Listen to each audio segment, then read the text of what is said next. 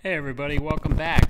So as promised, uh, today we're going to talk about the uh, steering stem installation, the uh, uh head bearing installation, and the uh, triple clamp. And so just to kind of briefly go over everything here, um, I have gone ahead and cleaned up and polished the, uh, the steering uh, stem. And basically on a CBX, these are raw uh, billet aluminum. So I just went ahead and uh, I use a, a brass brush like this. And then I use a uh, Scotch-Brite to kind of brighten it up all over the place. So um, turned out pretty good considering that this bike was really in bad condition. It was very corroded.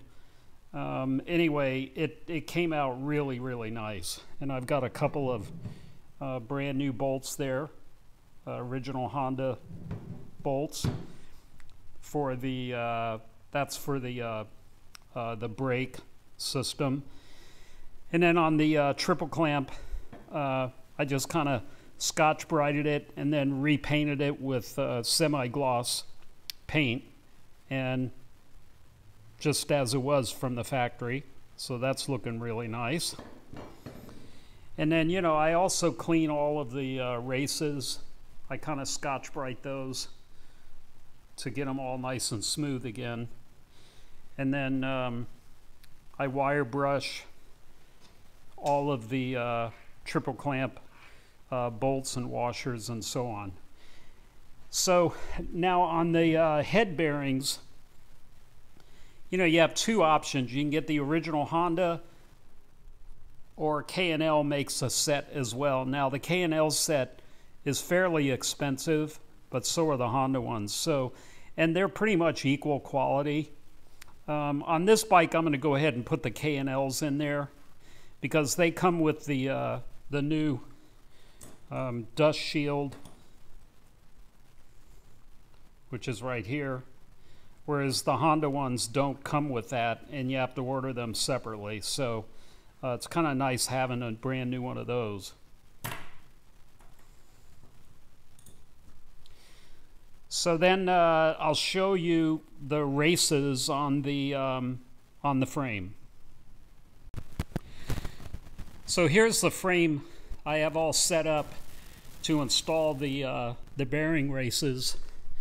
And it's pretty simple to install the races. You know, you just kind of Scotch-Brite in here, get them, get them cleaned up of any corrosion or deposits or, you know, leftover uh, material that was left from the old races that you took out. And then um, the race goes in there pretty easily. And then I just use a piece of, piece of flat wood and I just kind of tap the race in there. And I put a little grease on, on there first. So I'll show you how to do that. And then to install the bottom bearing on the steering stem, I brought my heavy duty vise and put it down on the concrete floor because I've got a nice solid surface there and I put the old bearing on here. And then basically you take the, the steering stem with the, with the new bearing on it and you just kind of bring it down and then hammer it in place. And again, I use a piece of wood to get it uh, so that it goes down evenly. And, uh, and then I also, I also put heavy grease around the, uh, the mating surface as well as the inside of the new bearing. So I will now get started uh, installing all of that as I just explained and we'll see how it goes. So I'm starting with the bottom uh, bearing and as you can see I have the race all cleaned up with the Scotch-Brite ready to go and now I have applied the bearing with the grease and I take my piece of wood and I just gently tap all the way around checking on it periodically to make sure it's going in there straight. You want it to go in perfectly straight. And you want to bring it down flush with the edge of the frame. Just kind of make sure it's flush all the way around.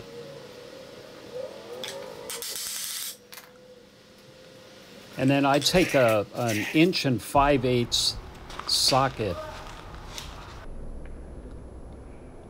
and I use that and drive the, the race down the rest of the way until it seats in its spot.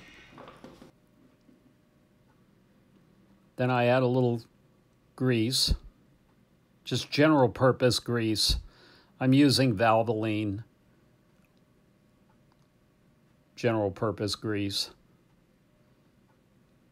And I put a little grease on the on the race itself and I just kind of place the race in its spot. And then I take my piece of wood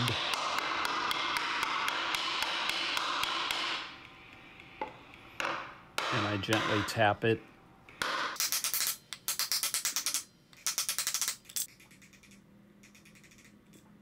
This is on the top portion, by the way, the top bearing.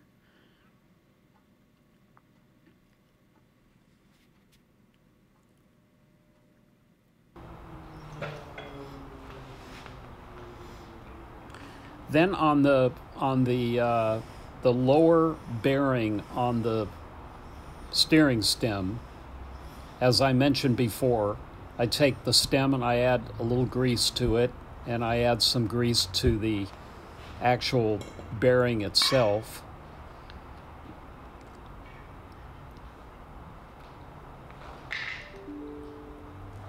And this is for guys who don't have a an actual press really the best way to install these lower bearings is with an actual press. But um, I'm kind of showing it this way because I know most guys don't have presses. So this is this is another effective way of doing it. You just kind of want to get the the uh, the lower bearing started in its position. So this is the dust shield you put on first, kind of doing everything upside down.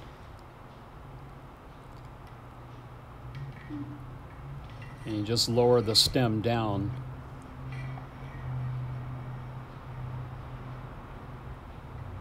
And I'm using the old bearing uh, to rest the new bearing on.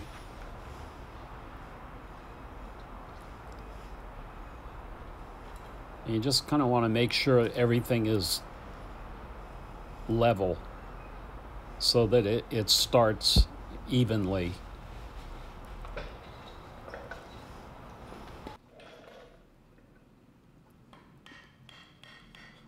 Then I just lightly tap it with a heavy hammer just to kind of get it started. That's all you really want to do is get it started.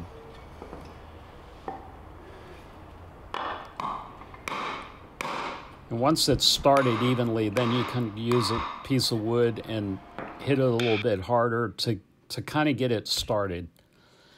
Then, once you've got it started, as you can see, it's not all the way seated yet. You can put it up into the into the uh, head, into the steering neck, and take the uh, the stem cap with a couple of washers and your nut, and you can try to drive the bearing down by tightening the uh, spanner nut at the top. Now, sometimes it works, sometimes it doesn't. In my case, it did not drive it all the way, you know, seated. So uh, I turned it as much as I could to to bring it up as far as I could, and then I just used the heavy hammer and I kind of tapped it the rest of the way in place. But like I said, some sometimes the uh, doing this method will drive the bearing down into its seated loc, you know, position. But like I said, in my case, I had to actually uh, use a hammer and tap it, you know, tap it from below to get the bearing to to uh, go the rest of the way down.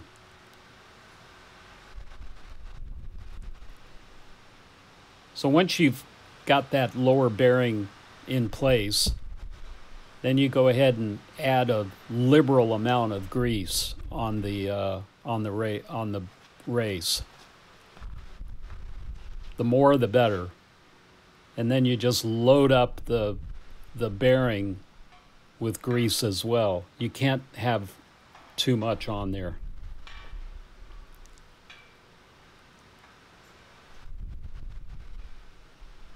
And you just put it up in position.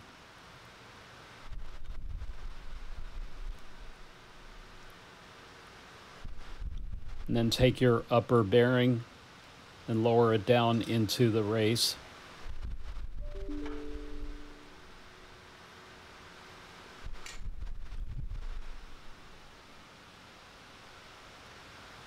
And again, I've loaded the race up with, with grease. And then put your head cap, screw your head cap on.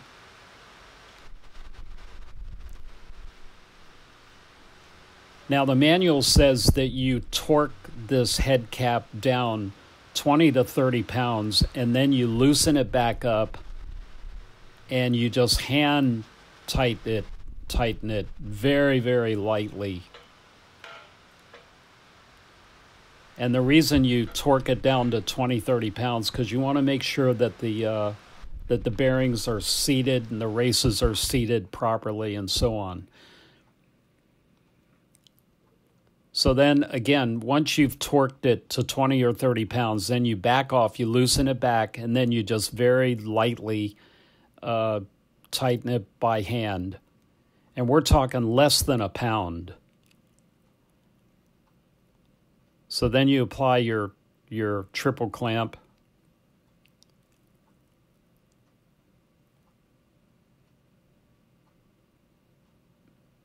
And put put your nut on.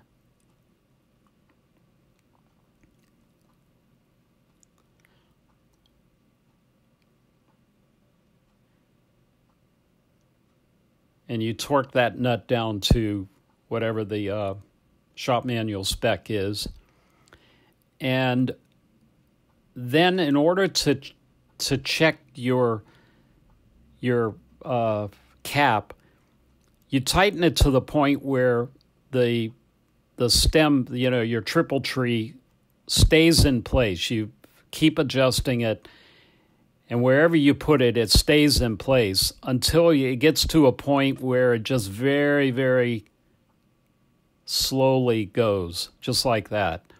Then you know you've got it tightened properly.